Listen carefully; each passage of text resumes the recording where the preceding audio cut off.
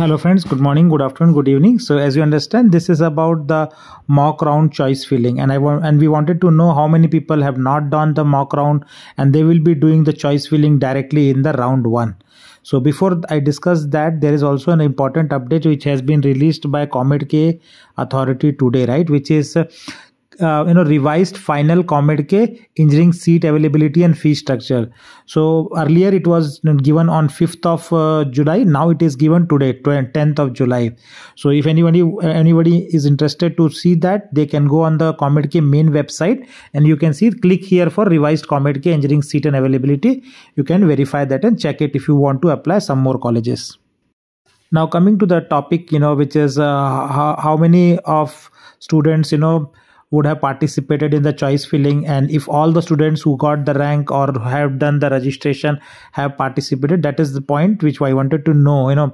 That's why i have run this poll. So this poll was on the website for last one one and a half days right? So the results were out and i'm basically compiling that results so out uh, uh, out of those you know around 963 votes were there. So 963 students said if they participated in mock round choice filling or not.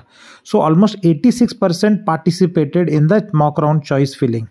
That is good. But there are 14% students who have not at all participated in the mock round choice filling that means those students are going to do choice filling for round 1 directly but they have not earlier participated in the choice filling. So if you see in 963 or approximately 1000 students almost 140 students have not participated right? Which is big number and given that this year 1 lakh student have got the rank right?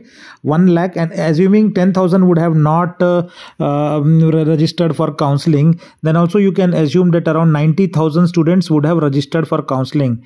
And if you want to take 14% of uh, uh 90000 it will be big number more than 10000 students. Uh, it may be true or not true but if it is a big number right which is 14% of total students who have registered for counseling registration then there will be impact in the first round cutoff because those students will do counseling and they'll mm, do choice filling and their ranks will be in somewhere between all of your ranks.